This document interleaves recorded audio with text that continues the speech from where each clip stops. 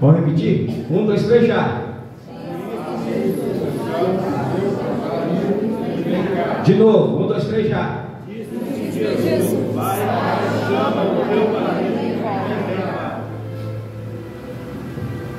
Depois em casa você examina. Ô mulher xarópio. Porque ela, ela debatia com Jesus, ela, ela batia de frente.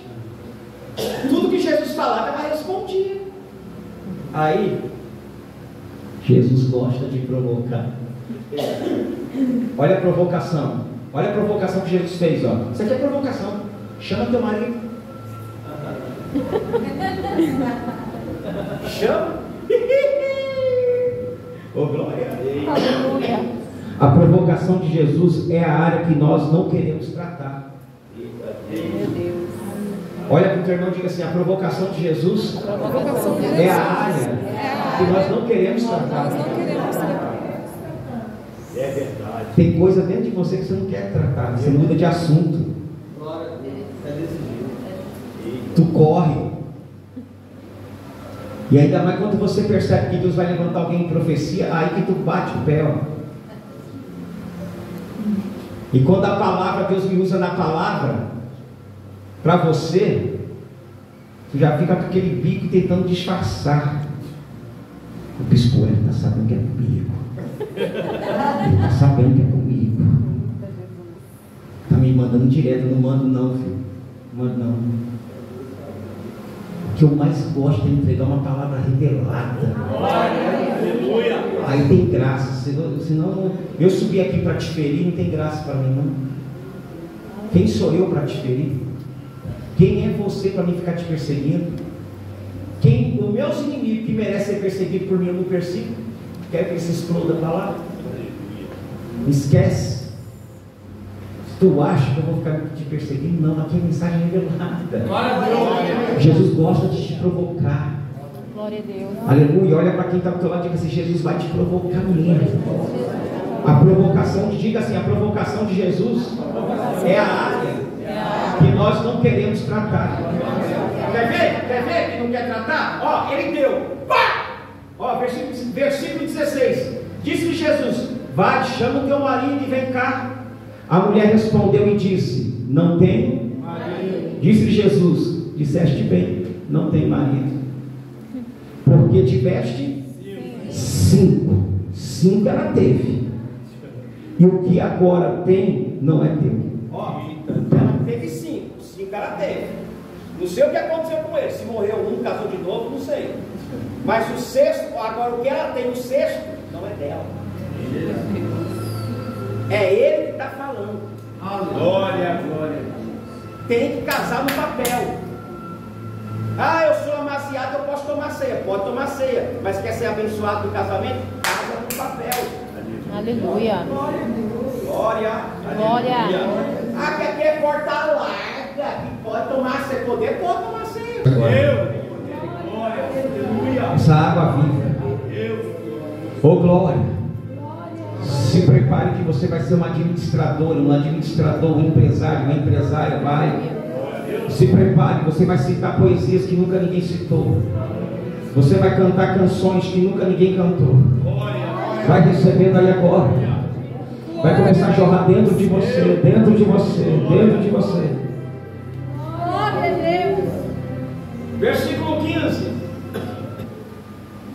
Para que não mais tenha sede e não venha aqui e não venha aqui Em outras palavras, dai-me dessa água. Eu não preciso mais sair de casa. Não preciso mais vir no sol quente buscar. Não preciso mais passar vergonha por ser pobre.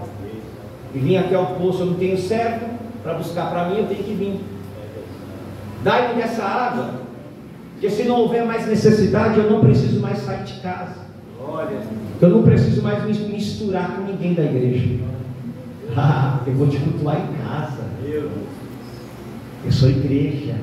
É não. Em casa todo mundo. Não. Para com essa palhaçada. Não, mas agora eu tenho água. Não, não tem nada. Você tem água do diabo, saloba, lamacenta, ferrujada. De Jesus, não. Não, mas vou cultuar em casa, porque a igreja somos nós. Não, você só é igreja aqui dentro. Lá fora você pode até ser templo, mas aqui é igreja. Porque a igreja só é igreja quando se une e vira corpo e ele é a cabeça. Outra, eu. É bíblico, meu irmão. Não vem discutir Bíblia comigo, não. É Bíblia. Sozinho lá, tu é templo, não é igreja, não. E igreja é corpo. Corpo só é feito de membro. Perna, pé, aleluia. Joelho, cotovelo, ô oh, glória. Deixa eu ver o que Deus está fazendo aí, vai recebendo aí. Evangelho não é sinônimo de isolamento. Olha para quem está do teu lado e diga: Evangelho não é sinônimo de isolamento. A proposta do Evangelho é não isole-se. O Evangelho vai ide. Glória, glória. Ide. Uns têm salmos, outros têm canto, outros têm profecias, outros têm a palavra, outros têm o dom de interpretar línguas. Olha, vai recebendo aí agora. Vai recebendo aí agora. Esse negócio de vou congregar em casa, isso aí é egoísmo. Egoísmo. Ah, não, não me misturo porque eu não quero ter briga, eu não quero. Não, não. Como é que é? Não, não vou me misturar. Acaba o culto, eu já vou voar. Não quero papo com ninguém, porque eu não quero encrenca para minha cabeça. Isso é egoísmo, não é santidade, não. Isso aí é um falso moralismo. Sabe por quê? Getsemane quer dizer prensa de azeite. Getsemane significa o quê? Diga a verdade. Disse-lhe a mulher: Senhor, vejo que és profeta. Vejo que és profeta. Profeta. Ela reconheceu o quê? Jesus. Olha só, Jesus pegou a fraqueza dela. Teve sim. Tu é carne, não consegue ficar só. Não consegue saciar. Não consegue saciar. Teu problema é esse. Olha o que ela faz. Vejo que tu és Versículo 20. Nossos pais. O quê? Neste. E vós dizeis que é Jerusalém. Ela fugiu do conflito. Jesus quer resolver o problema dela. Mas ela está fazendo curva. Ela mudou de assunto. Saca aí, ó, pega aí. O que tem a ver o casamento dela com teologia? Ela entrou na religiosidade. Saiu de vida conjugal para falar de religião. Tentou dar a volta. Muito bem, Iago. Eita glória. Tu tá vendo como você é? Toda vez que toca no assunto que está te ferindo, que está te arrebentando para tratar, tu está fugindo. Eita glória. Qual é a tua fraqueza? Expõe a tua fraqueza hoje, porque Deus quer resolver a tua fraqueza. Oh, glória, porque hoje tem poço de água viva aqui. Tem água viva aqui. Jesus quer tratar a área de, de dolorosa da sua vida. Olha para quem está do teu lado, diga assim: Jesus quer tratar a área dolorosa da sua vida.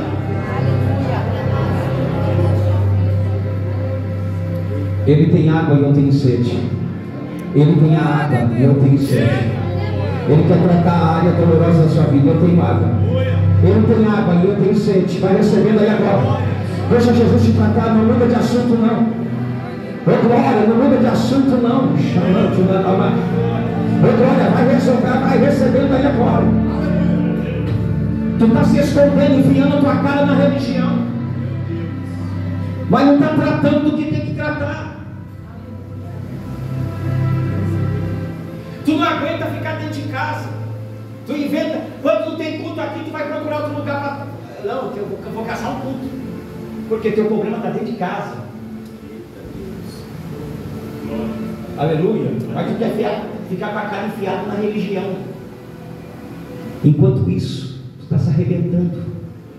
Mas hoje vai ter um tratamento no mundo espiritual para a tua vida. Vai recebendo aí agora, deixa eu ver.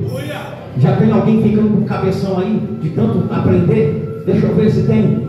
Vai recebendo aí, vai recebendo aí. Disse: Eu. Não, versículo 25. A mulher disse: Eu sei que o Messias, que, que se chama o Cristo, vem. Quando ele vier, nos anunciará tudo. E Jesus disse-lhe: Eu sou.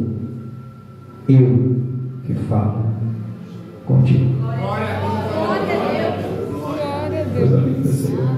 Aleluia. Coisa linda. Ela entrou na religião e disse: Ó, nossos pais falam que é para adorar nesse monte. Só que vocês judeus falam que é para adorar em Jerusalém. E Jesus diz: A hora, nem lá e nem cá. Deus é Espírito. E que os verdadeiros adoradores adorarão em Espírito e verdade.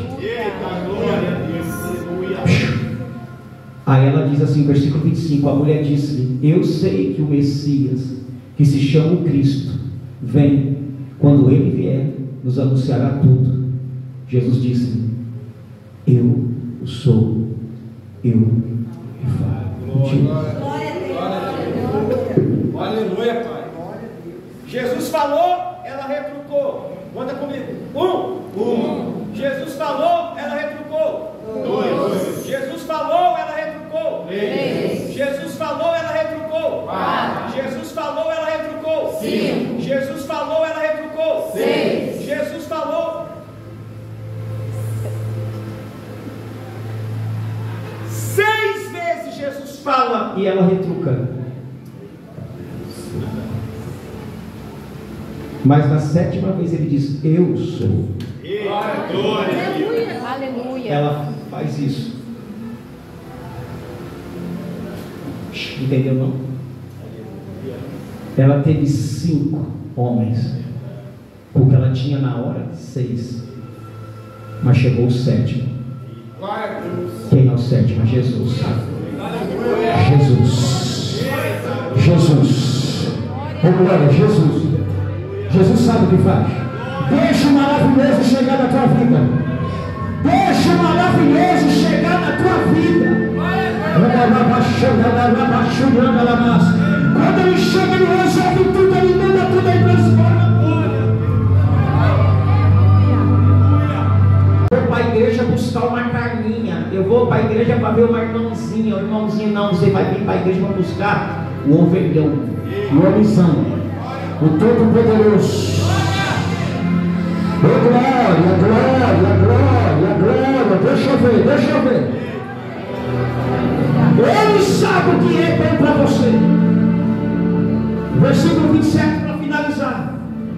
E nisso vieram os seus discípulos e maravilharam-se de que estivesse falando com uma mulher. Todavia nenhum lhe disse Nenhum perguntou nada. Ou porque fala com a mulher. Olha para mim. Os discípulos estavam na cidade. Qual é o nome da cidade? Sicar. Sicar. Comprando pão. Só que ninguém foi salvo na cidade. É verdade. Não ganharam uma alma. Eles vêm. Mas agora a mulher Versículo 28. Deixou, pois, a mulher o seu cântaro e foi à cidade e disse àqueles homens: Ela deixou o cântaro, ela deixou o cântaro no poço. Quem tem um encontro com Jesus não leva mais cântaro. O cântaro vai me atrapalhar. O cântaro vai retardar meus passos. O cântaro vai pesar no meio do caminho. Eu não vou chegar lá. Eu tenho que ir lá. O cântaro eu deixo na mão dele. Aquilo que me atrapalha eu ponho na mão dele. Aquilo que não me serve mais eu deixo. Tem que deixar. Ô glória, lembra que a gente começou dizendo tem que deixar? Jesus deixou a cidade. Deixa o cântaro, ô glória, e ela chega na cidade de Siquém. Quem era aquela mulher para todos ouvirem ela, mas quando ela fala, o semblante dela, a unção que estava nela, ela já estava chorrando de dentro águas vivas. Glória a Deus. Ela disse: Eu encontrei o Messias, ele está lá no poço. Ele está lá no poço. Vinde e vede o homem que me disse tudo quanto tenho feito. Porventura não é este o Cristo? E saíram presos da cidade e foram ter com Jesus. Se coloca de pé.